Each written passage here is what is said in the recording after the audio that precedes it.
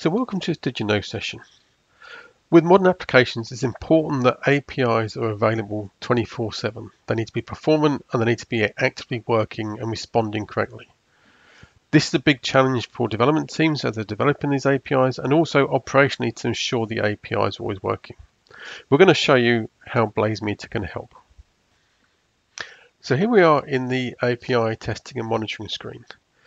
Now the first thing we need is a test. So we're going to import a test. And as you can see from this list, we have lots of ways we can import APIs from your current specifications. And we're going to use Postman. So we're going to choose the dump file that we've taken out of Postman and import it into API testing and monitoring. This will create all the tests from that collection. You can see there's several tests here. And we're going to close this screen and go to the dashboard to show those tests we just imported. So these are the three tests. And what we're going to do now is just drill into this digital bank demo login and show you what's been imported and how we can then customize this test. So when we look at the editor, at the top we've got the environment settings and here we've got the variables we use for our test. And we can have global variables as well as test variables. We can then change the authentication methods used. We can add headers. We can change the behavior, how we talk to these APIs, and also choose the locations. So when we run the test, these are public locations. They can also be private locations you can use. We can then choose things like the webhooks and the integrations to send notifications should a test fail. And we can include test data. That includes CSV files as well as BlazeMeter test data. Now, if we look at the test we just imported, these are all the steps that came from the import file. So the first step is a post. We're going to do a post to this URL using the variables we've defined. We're going to do an assertion. So in this case, we're just looking for a 200 response response, but there are other uh, sources we can check for. And then we need to gather the variables. And as you can see, there's lots of options where we can actually extract the variables, as well as running pre and post scripts for this particular step.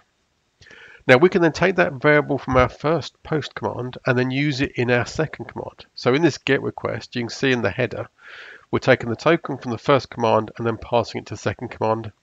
And then again, we can build up the level here of making sure we have the right assertions, as well as we have all these different steps where we can actually add additional steps to our test. Now, when we run the test, it's going to run at all the locations we've chosen. So we chose three locations. So you can see here, this test is running.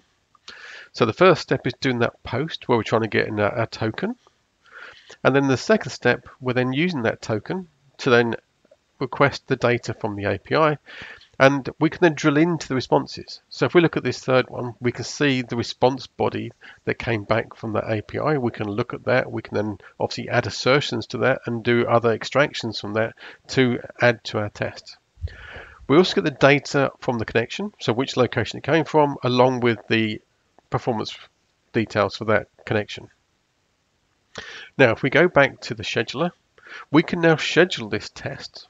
Now we can schedule it for every minute, every day, whatever schedule you need for your requirements. And you can add multiple schedules to uh, a test.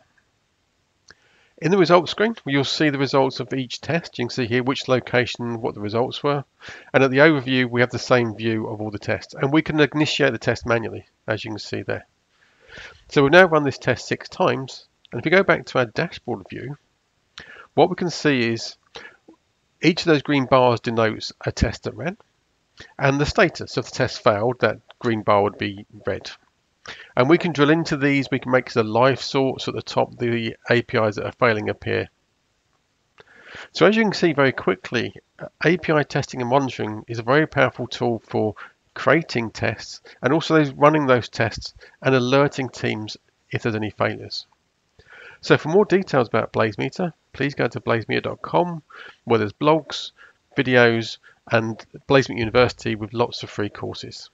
Thank you.